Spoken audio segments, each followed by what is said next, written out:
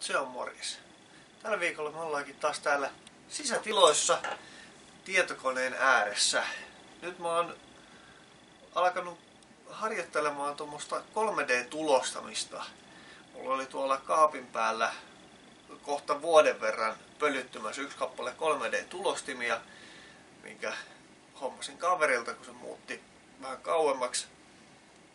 Nyt viimeinään otin asiakseni sen laittamaan toimintakuntoon.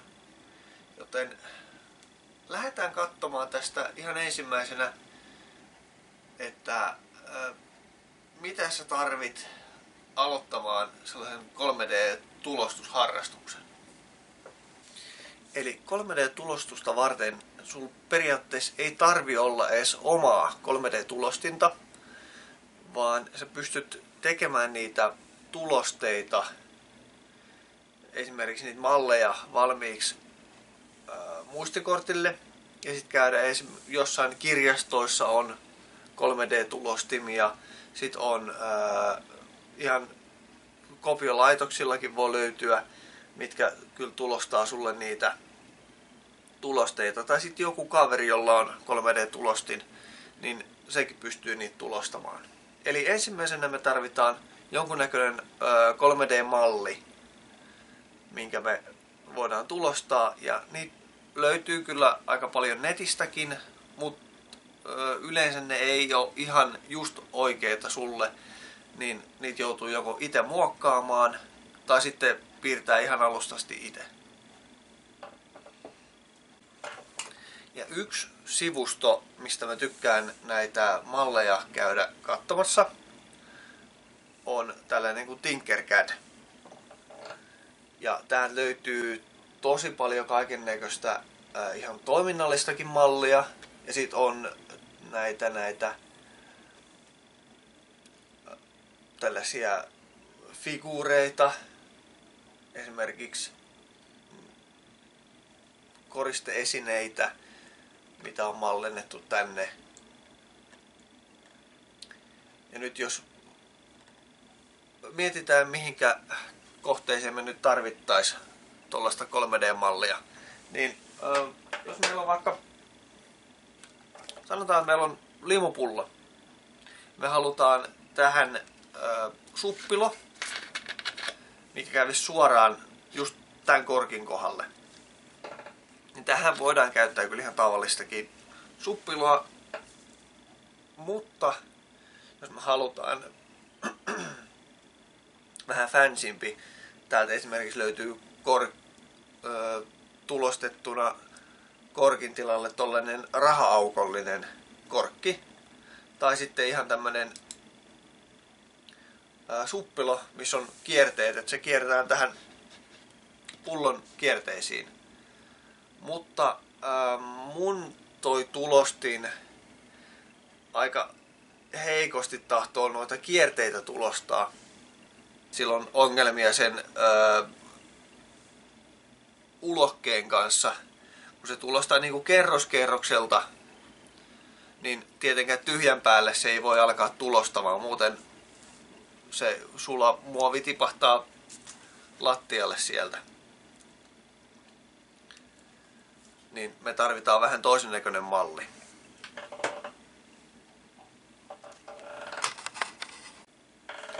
Eli otetaan tuosta ihan tyhjä pohja. Täällä pystyy tekemään omiakin malleja. Tuosta Create New Design. Ja täällä oikeassa laidassa löytyy näitä muotoja, perusmuotoja. Ja sitten täällä on myöskin pystyy täältä valikoimasta käydä hakemassa vielä vähän lisää kaiken näköisiä erityismuotoja ja muita. Mutta suurin osa mun noista tarpeista täyttyy tällä perusmuotojen käyttämisellä. Otetaan vaan tosta kiinni ja raahataan tähän työpöydälle. Kartio. Sitten pystyy venyttää ja vanuttaa mitenkä tykkää. Ja sitten siihen voidaan ö, ottaa tähän joku muu muoto, vaikka sylinteri.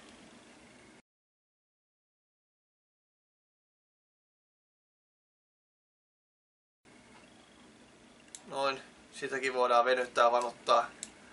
Sitä voidaan nostaa myöskin korkeussuunnassa ja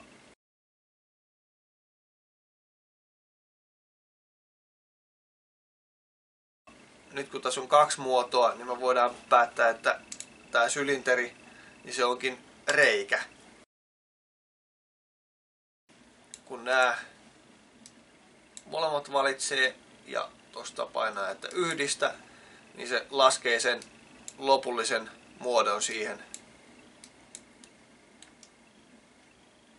Nyt siinä on tommonen suppilo, mistä puuttuu keskeltä palanen.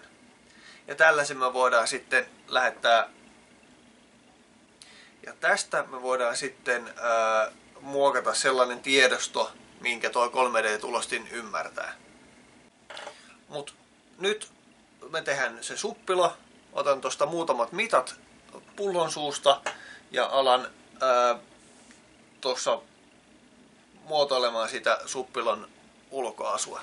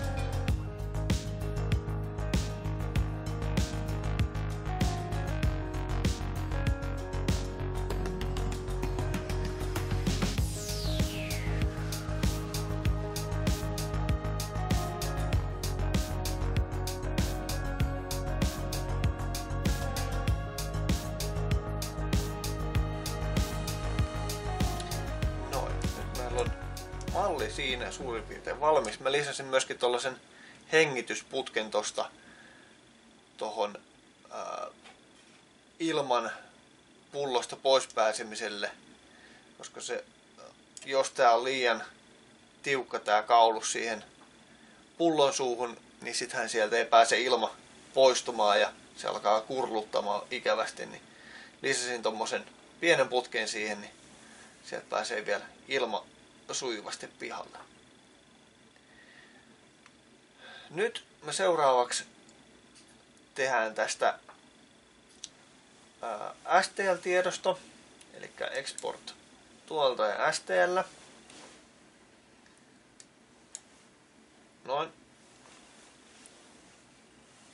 Ja seuraavaksi me avataan tämä STL-tiedosto tuolla slicerilla. Eli se on sellainen ohjelma, mikä muuttaa sen ää, mallin sen tulostimen ymmärtävään muotoon. Mulla on itellään käytettämässä Mulla on itellään käytössä tämmönen Slick 3R Mut ne tota slicerit vähän vaihtelee sen tulostimen mukaan, mikä sul nyt on käytössä. Ja jos teet tulostuksia jossain muualla kuin omalla tulostimella, niin periaatteessa tätä sliceri hommaa sun ei tarvitse tehdä, vaan se tulee sieltä sitten sieltä kopiolaitokselta tai muualta, missä on tämä tulostin. Eli tällä nyt pystytään tekemään se viipalointi, eli tämä tulostuu kerroskerrokselta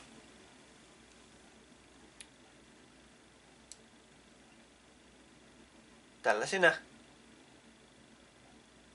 viipaleina.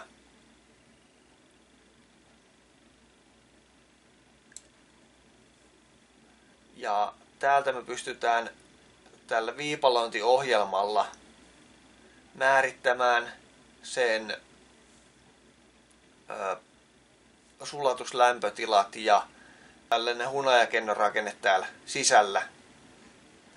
Niin täältä asetuksista voidaan määrittää, että se on nyt 20 prosenttia hunajakennoa, mutta voidaan vaihtaa siihen pienempää tai isompaa ja se silloin tämä ohjelma itse laskee ne tarvittavat tulostusreitit sinne.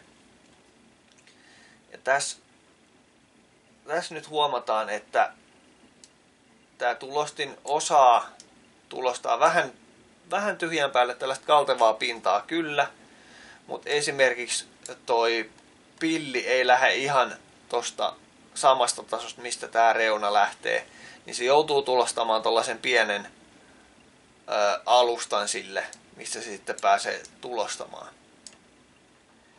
Ja nyt me seuraavaksi tarvitaan muistikortti.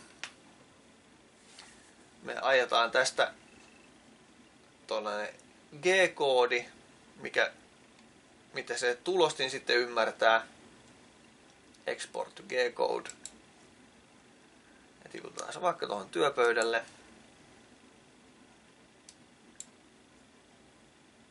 Noin. Ja sitten kopioidaan se tähän muistikorttiin ja sitten hypätäänkin tonne tulostimen luokse. Eli täällä meidän serverihuoneessa on tää mun 3D-tulostin. Tää on tällainen GTEC i3. Tää on 3D-tulostimen sellainen rakennussarja ollut. Niin tähän kun me tyrkätään tää muistikortti. Täällä on näköjään vanha tulostus. Eli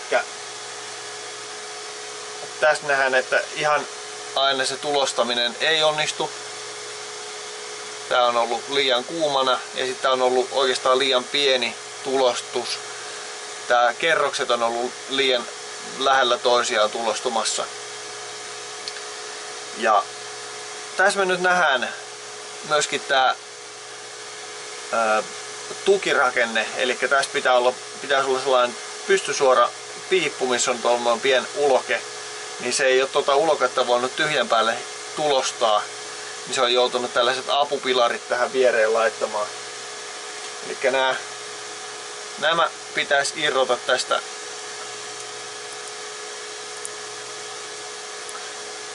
pitäisi, pitäisi.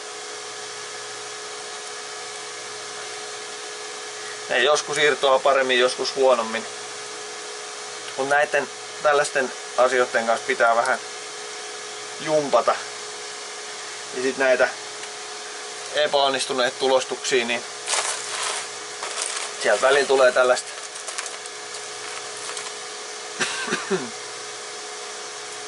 töttöröä vaan pihalle. Niin näitä pitää varautua ottamaan tähän. Tämä todennäköisesti olisi onnistunut, koska tämä alkupätkä, missä on tullut myöskin tätä tukirakennetta tulostettuna mukaan, niin ihan hyvin on onnistunut. Sitten tämä, missä on tämä itse uloke, niin tämäkin on, näyttäisi olevan ihan ok. Niin jos näet tulostaisi useamman kappaleen, että se joutuisi vähän liikkumaan tuossa pöydällä, ettei se pelkästään samassa kohtaa lämmittäisi sitä, niin tää voisi onnistua tulostua. Mutta tehdään nyt se suppila. Eli täältä me ensimmäiseksi tää pitää esilämmittää.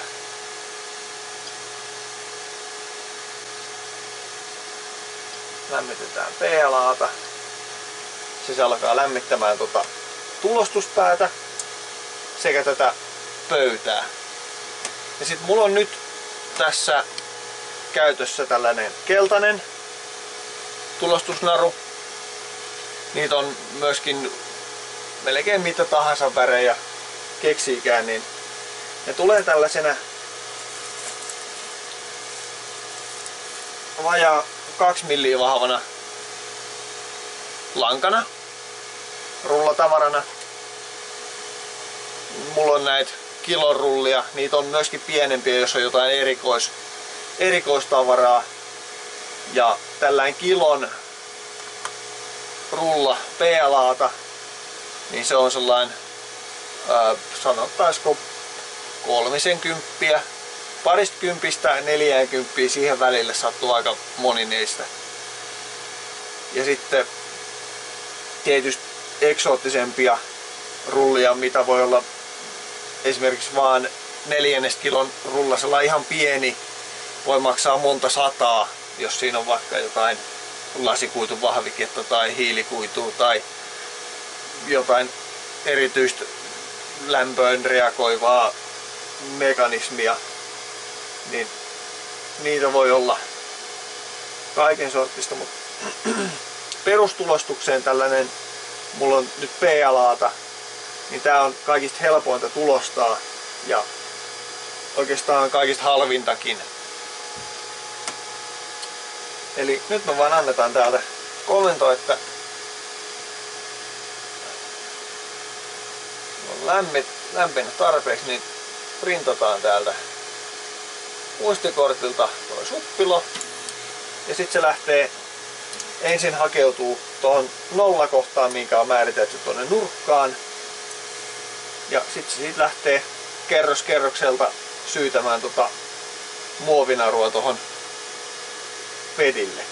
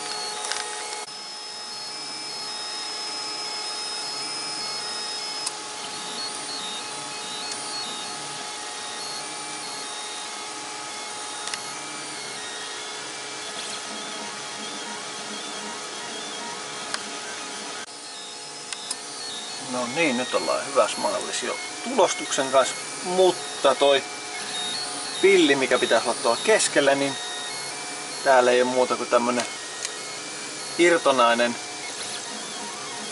söherrulla. Eli otetaan tosta ja paussetetaan tää.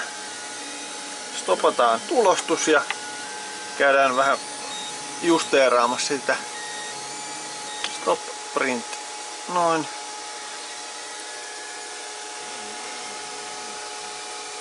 Tää, tää pilli, kun se ei lähtenyt tuolta ihan pohjalta asti, niin se ei tulostunut hyvin. Niin käydään muuttamassa sit mallia pikkasen ja tulostetaan se pilli lähtemään ihan tästä samasta tasosta, niin se pitäisi onnistua paljon paremmin.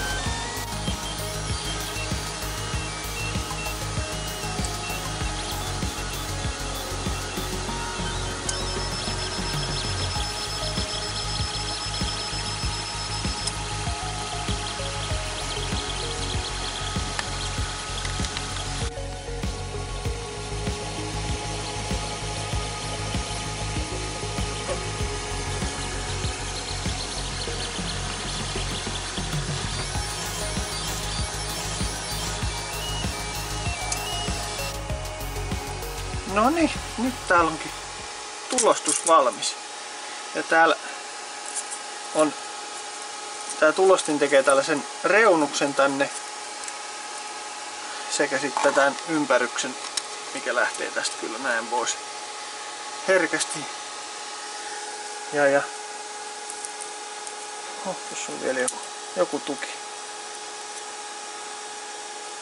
Nyt ei muuta kuin etsitään limupulloa ja testataan miten tää istuu siihen.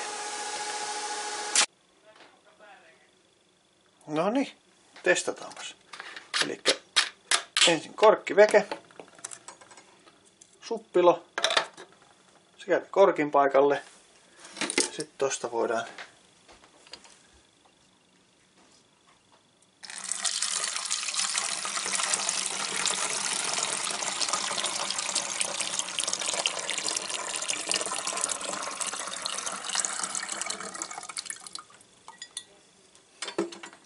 hyvin sukkelaan täyttyy.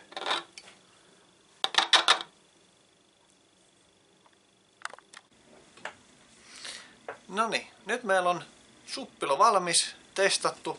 Mä vielä vähän modasin sitä, eli porasin tuollaisesta yhdestä korkista keskiosan auki ja sitten painoin sen tonne pohjaan ja pikaliimasin paikalle. Niin nyt tässä pystyy tämän korkin ruuvaamaan paikalleen ja se pysyy vielä vaikka kääntää miten päin. Toivottavasti tästä heräsi teille jotain mielikuvaa paremmin 3D-tulostamisesta ja mitä sillä voi tehdä. Mä jossain vaiheessa todennäköisesti koitan muuttaa noita 3D-tulosteita myöskin metallisiksi. Eli en suoraan niin 3D-tulosta metallia, vaan tulosta muovista ja sitten koitan valaa ne esimerkiksi alumiinista ne tulosteet. Mutta se on myöhemmän ajan hommaa. Mukavaa, että katoitte ja laittakaa yläpeukku, jos tykkäsitte. Ja pysykää terveinä. Se on moro.